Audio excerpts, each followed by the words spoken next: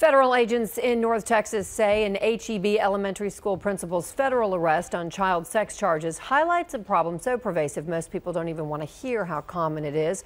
Fox 4's James Rose takes a look at a new federal program that empowers wounded warriors in the battle against child sexual exploitation. James. Well, Heather, for these wounded warriors, this is a rewarding opportunity because aside from the honor and distinction of defending their country, there is perhaps no greater calling than to defend innocent children.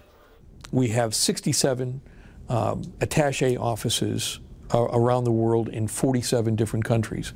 Operation Predator has a wide net. Immigration and Customs Enforcement spokesman Carl Rusnok is talking about a program run by special agents from Homeland Security Investigations. The goal is to identify, investigate, and arrest anyone that produces, trades, or possesses child pornography or engages in the child sex trade.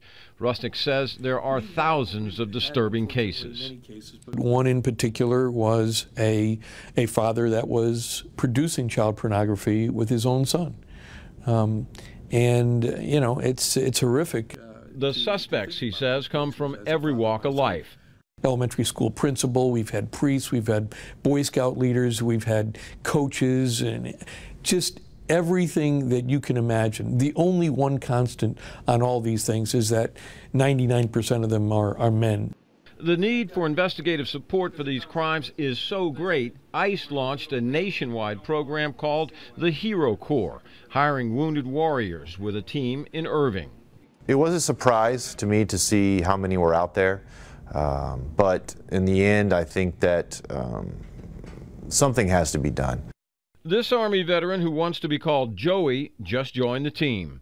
I process the evidence of the computers, so they bring the computers, the mobile devices, um, any uh, technology and software to me, and then I work, process through that evidence, working with the agents.